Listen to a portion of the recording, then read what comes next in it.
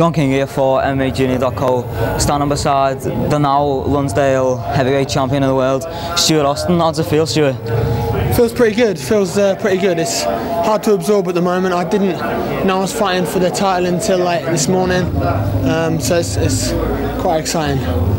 How did that, you know, obviously you, were supposed to fight Paul Taylor. Paul pulled out with, with a stomach bug, and you know it seemed you was off the, you were off the card until this morning. How, how did that mess with your head that you, you were going from a prelim fight to fighting for the Lonsdale heavyweight belt?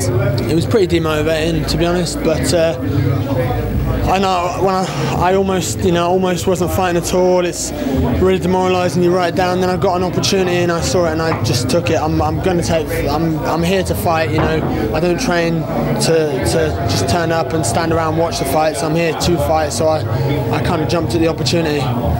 And uh, in the first round, you know, it's you know Tom lands a few hard shots. It seemed that it was his round. Any point in that round when you were hurt or close to being finished?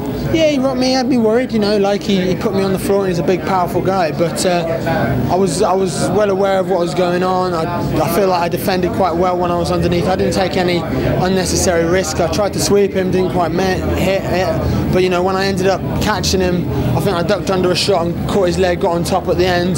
You know, I hurt him and I finished the round in a dominant position. I lost the round, but I felt mentally I was winning the war. You know, an exciting first round, obviously. Uh, coming into the second round, your coach, one of your main coaches, Brad Pickett, seemed, uh, you know, he, he was very, uh, very excited, very, he was moving around a lot, trying to get you to win. How important of a coach is he to you? Brad's been really, um, really instrumental. He's, he's, um, he's helped me like adapt to my own game. So like he's helped me to put the, the tools that I've got off other coaches and put them together a lot. Um, so he's, he's really helped a lot at just them fine tuning things. You know, the amount of his experience has got he's helping pass it on to me. So I'm not having to learn the hard way, even though I seem to like to. You know, uh, BAMMA's next card, Bama 24, Dublin uh, in Ireland, uh, sorry, February in Dublin. Are you looking to be on that card at all? Obviously, Mark Godbeer is a, a possible opponent. You versus Godbeer on that card. What do you think of that? Yeah, I mean, I don't know. Like I've, I've said to a few other guys, like you know, if we've got a fight, I'll fight Mark. But me and him are very good friends. We trained together for a real long time.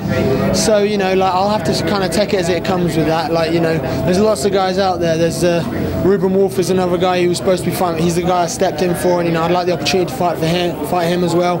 Um, so yeah, there's, there's, there's options out there you know, the, the other two people in the type, which are Godbeer and Ruben Wolf, how do you think you, you stand against them guys? think you could beat them? Uh, me and Mark is, is a toss-up. Like, I, I'll be honest, me and Mark have gone hundreds of rounds, literally hundreds and hundreds of rounds. I won some, he won some. You know, he's he's a beast. He's dangerous to anyone in the world. You know, when he starts throwing, you know, you have to respect his power, um, his combinations. He's super aggressive, but you know, I've got a lot of tools that I bring to the table, and he knows exactly what I bring. You know, uh, Ruben Wolf is more of a, a bit more of a question mark. You know, I'd have to. I haven't watched. I've only watched one of his fights before, so I'd have to sit down and, and analyse him a bit more. What are you going to do now? You're going to go out, uh, maybe have a drink for something to eat? I've no idea, but I'm, I'm going on holiday tomorrow, so I'm I've uh, better, better. Uh, Where are you going? Not be too hungover. I'm going. I think we're going Berlin, so it should be good. Just little, little break in that, probably in the rain. All right, good luck. Have an, enjoy holding it. Thank you very much. Cheers.